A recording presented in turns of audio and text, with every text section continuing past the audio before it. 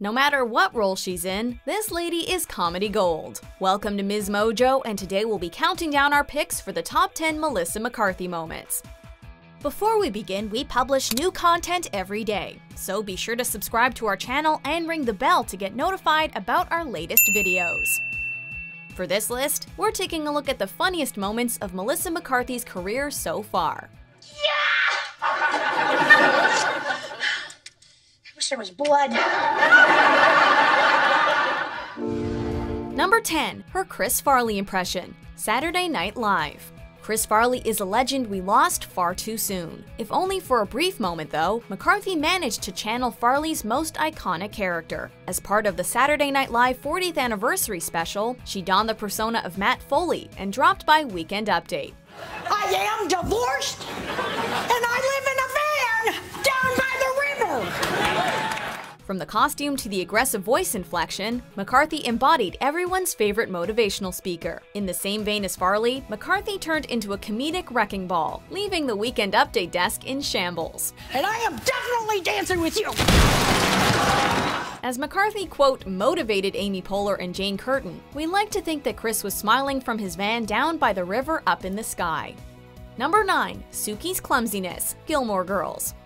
Having become one of the silver screen's most bankable leading ladies, it's easy to forget that McCarthy rose to popularity playing Sookie St. James on Gilmore Girls. As Lorelai Gilmore's bestie, McCarthy displayed the makings of an up-and-coming talent with loads of potential. While Sookie is a great pal, and even better chef, she's also a bit of a klutz. During Richard's birthday dinner, Trix is quick to point out a tear in Sookie's uniform.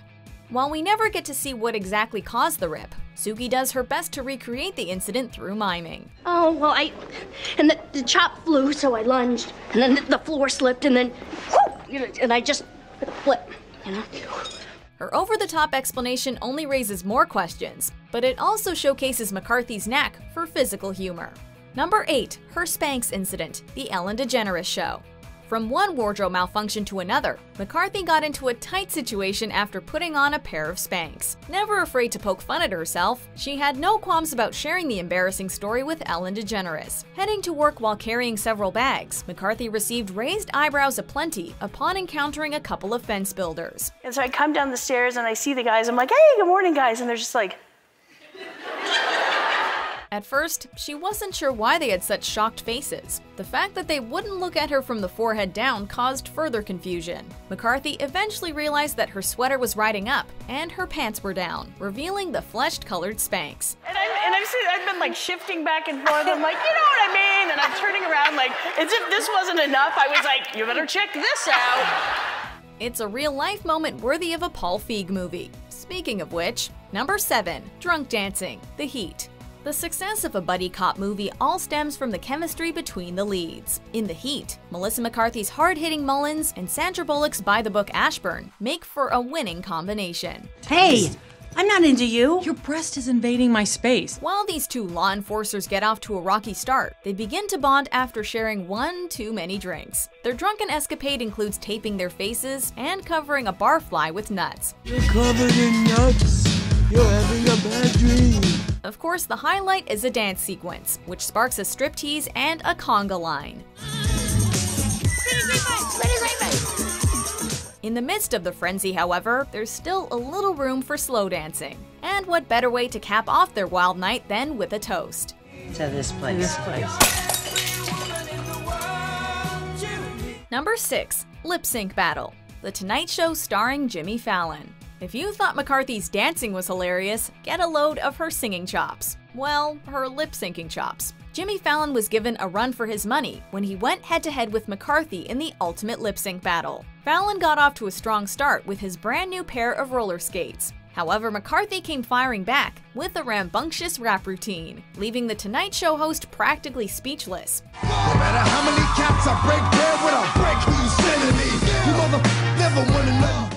stepped it up in round two as he got passionate with a pillow. Yet nothing could top McCarthy's Colors of the Wind finale, complete with a forest background and a series of props flying at her. in a circle, in a hoop that never ends. Good thing she was wearing goggles. We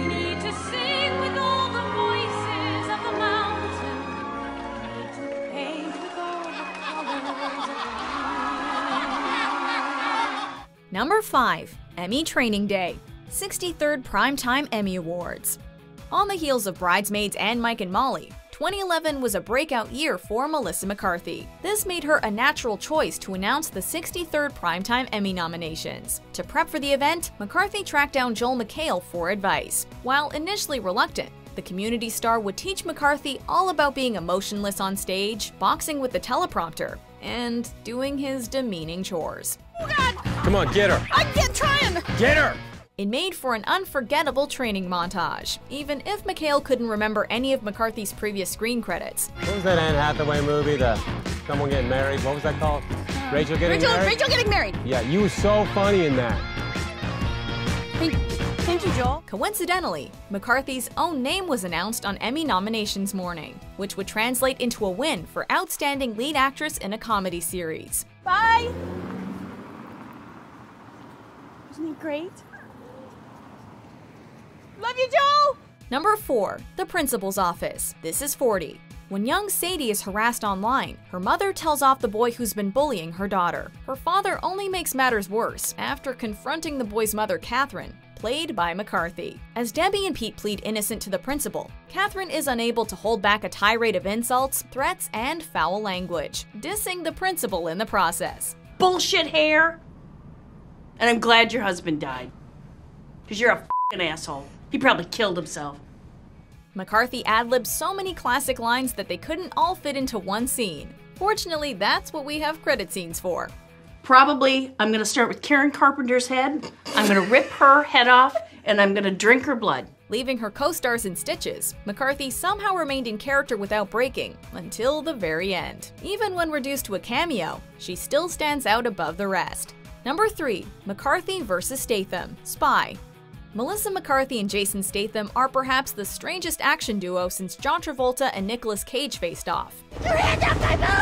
Saving you! It totally works, however, as McCarthy becomes an unlikely super spy and Statham satirizes his tough guy image. McCarthy plays Susan Cooper, a CIA analyst who goes from a comfy desk job to the line of duty. Statham's Rick Ford feels that Susan isn't well suited for this mission, prompting him to list off his laundry list of badass credentials. Appeared convincingly in front of Congress as Barack Obama. In blackface? That's not appropriate. Although Ford talks big, Susan isn't afraid to call him out and stand up for herself. I got 18 months in intensive care for radiation poisoning. I got six months without eyesight. Well, everybody you've ever loved has come down.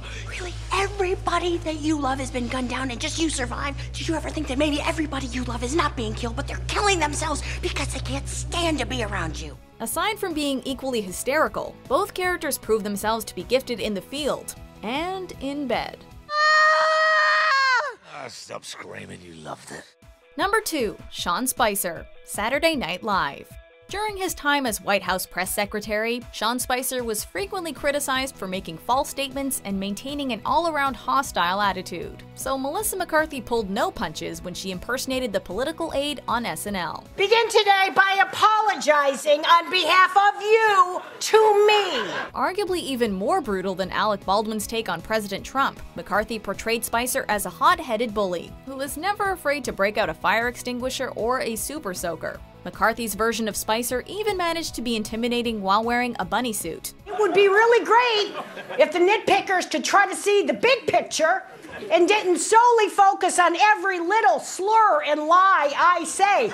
Many Americans were relieved when Spicer resigned from his position, but we hope this doesn't mean McCarthy will be retiring her uproarious impression of him. Are you okay?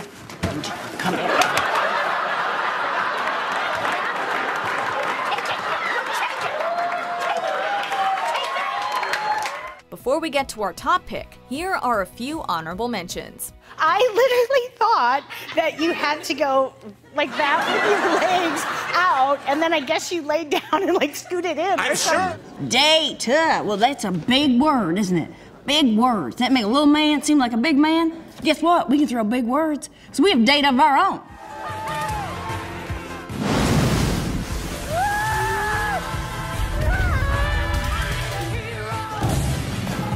Melissa, now the trees need you. Number 1 The Dolphin Story Bridesmaids. McCarthy reached another level of fame with her Oscar nominated performance in Bridesmaids. As the outrageous Megan, McCarthy stole several scenes, all of which could have easily topped this list. Uh, uh, uh. You get it? We just had to single out her introduction at Lillian's engagement party, though. Breaking the ice, Megan tells Annie about how she busted her legs falling off a cruise ship. Took a hard, hard, violent fall, kind of pinball down. Down in the deep blue sea, Megan apparently had a telepathic encounter with a dolphin that stared into her soul. We had a connection that I don't even know if I can. Ex- oh, jeez. Eh, hey, shut my mouth. Then, just when it seems like this exchange couldn't possibly get any more awkward, Megan swears to climb an old man like a tree, solidifying her status as our favorite character. I'm glad he's single because I'm gonna climb that like a tree. Do you agree with our picks? Check out these other great clips from Ms. Mojo and subscribe for new videos every day.